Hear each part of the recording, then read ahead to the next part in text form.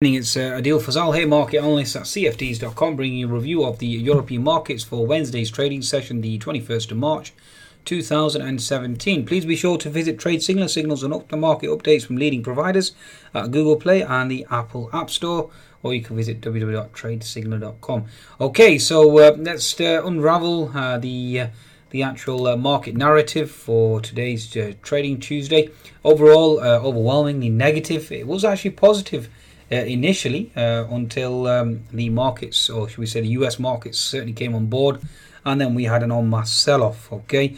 Now, in terms of um, the uh, end, well, days numbers or the uh, the market close, you have uh, the FTSE down 50 points, 7378 close. DAX down 90 points at 11960 close. The CAC down 10 points, which pretty impressive, really, given the fact that uh, uh, the uh, yeah U.S. markets certainly have been uh, slaughtered in the after hours or in the evening. Uh, FTSE MIB certainly down as well in the IBEX and the uh, the Stoxx 600. Okay, so the narrative really uh, in terms of Europe in the morning, we we, cer- we certainly open bullish, open strong. If I bring up the actual index itself, let's bring up the German DAX 10 minute chart. You can see here uh, initially, we opened, we gapped higher. Okay, we opened up strong on the back of Macron news. Okay, given the fact that he uh, certainly uh, did well in terms of the presidential debate, uh, in terms of uh, France, etc. We pushed high. We tried to close the gap. We we then were forced lower on the back of Comey and U.S. political uncertainty, etc., etc. Obviously, a stronger euro, Nowotny comments, etc. And then we ripped higher, uh, which was quite impressive. We ripped higher. We tested that 12100, 12110, and then it was literally a, a 200 point fall almost on the on German DAX, and that was mainly led to the U.S. markets. It was all a U.S. market led sell off. So interesting price action to say the least. Okay, we actually closed the gap uh, and even moved lower. I mean, we closed the gap at uh, 12.010 and then we, we continued to flush lower. So impressive sell off to say the least. Okay, folks, very, very impressive sell off on the German DAX. Okay, so why did the market sell off? Good question. Okay, number one, uh, U.S. banking stocks certainly being hurt due to the fact that uh, even though Miss Yellen uh, certainly um, uh, gave her dovish uh, rhetoric uh, and certainly played down the the prospects of a future rate hikes going forward, and certainly a non-committal there. Okay, certainly concerns with regards to flattening yield curve going forward, and therefore hurting bank profits. Okay, and also valuations. There was a, a report by the Bank of America Merrill Lynch, basically stating that the uh, the most overvalued equities in the world were U.S. stocks. Okay, and obviously that didn't help the the cause either. Okay, so on mass sell off there. Okay, uh, risk aversion kicked in. Markets certainly went into a sell sell mode. OECD certainly arguing for uh, Chinese growth certainly being decreased. Uh, Trump arguing towards uh, drug costs being lowered as well.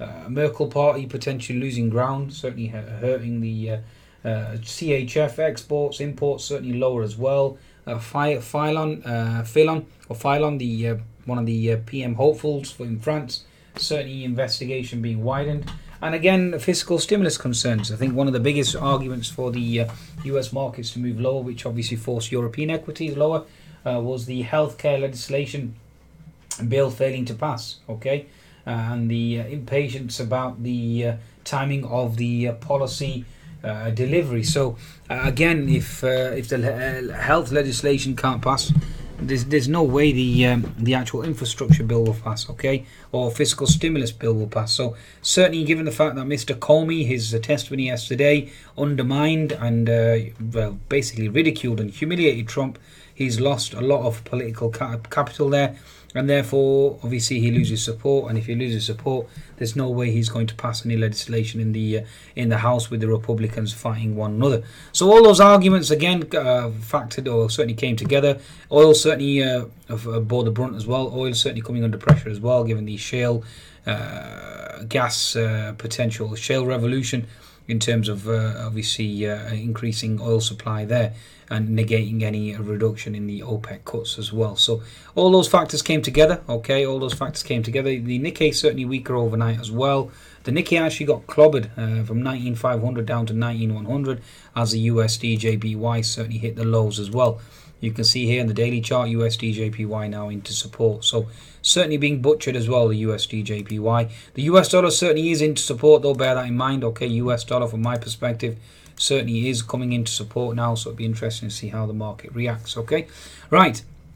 In terms of uh, equities now, let's look at the actual picture and let's see exactly where we stand. Okay, so German DAX, let's go to the weekly chart first and foremost. Uh, still an inside bar, so no overtly bearish price action here, so just bear that in mind. A daily chart, I've been hammering about this or been arguing for this that you have a potential rising contracting wedge, and we've certainly broken down, so it's a bearish engulfing candle on the German DAX. Okay, after hours, the German DAX is trading around the 11900 level. 11920 is, is major support. If that breaks, the next support is 11830, and that's where you're looking for gap fill. So you're looking for the gap to close, so bear that in mind, okay? In terms of the 60-minute chart the German DAX, you have the HNS formation, which I've been ranting and raving about, okay? That certainly did come into motion, as you can see here. The HNS formation kicked in, okay? Right shoulder kicked in. We hit that fib 61, and then we've obviously crushed out, crushed out lower. Now, HNS formation or HNS target here, given the fact that we've now we're now in play, HNS equals the pivot high which was 12150 let's just call it 12150 for the sake of easy calculation. 12150 minus the 12 uh, let's just call it 1200 or 12000 equals you're looking at 150 drop. So you're looking at 11850 okay? So equals 11850 that's your potential target on the downside for the German DAX uh, we've all we're almost there. I mean, you have 11 830 as as a being gap fill. Okay, bear in mind there is massive support at 11 920, so looking for a potential bounce. So if 11 920 fails to hold, then you are looking at 11 8.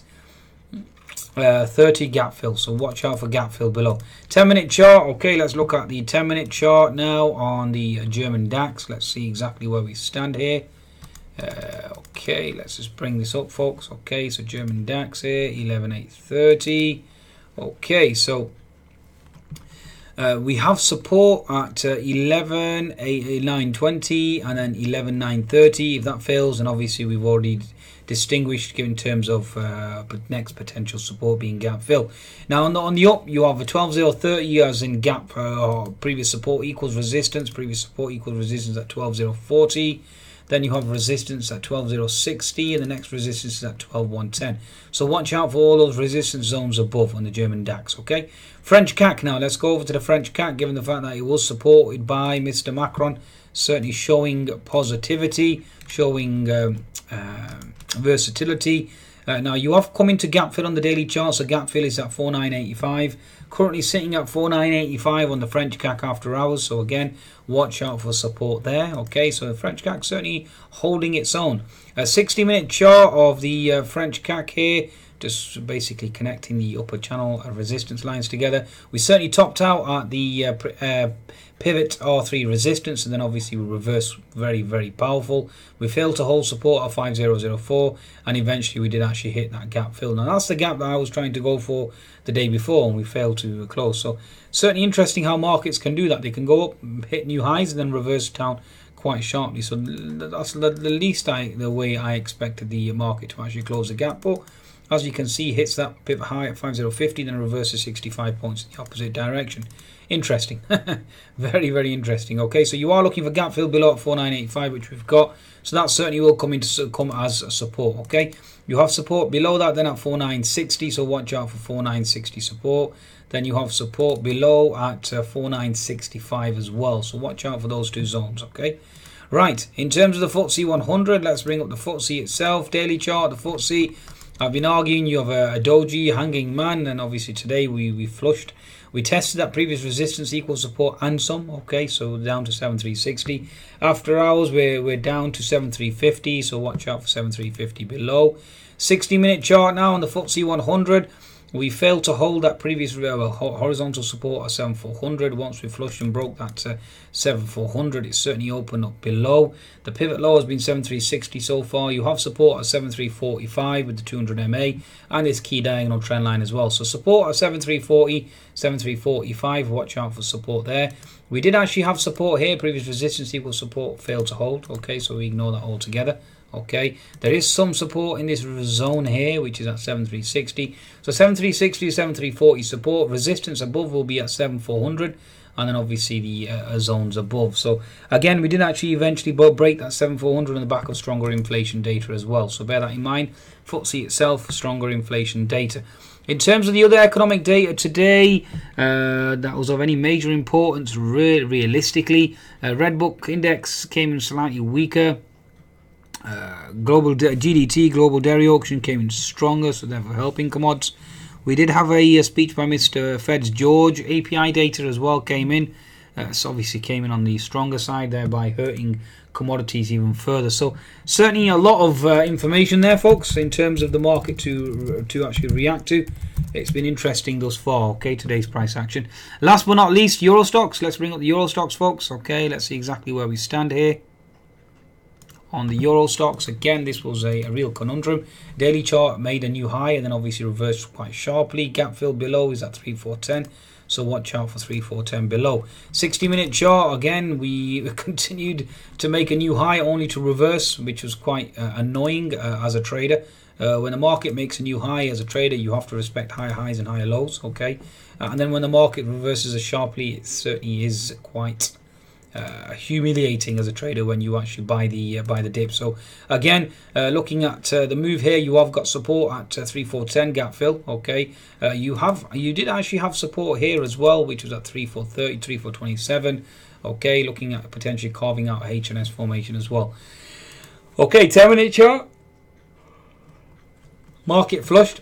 Ideally, you're looking at gap fill below at uh, 3410. Obviously, you have horizontal support at 3428, 3427 looking to potentially hold. So be interesting to see how the markets react there. Okay, in terms of the Euro Stoxx. Okay, I think that's a good summation then, really, of European equities. I just could quickly look at oil before I go, given the uh, stronger, obviously, uh, oil data.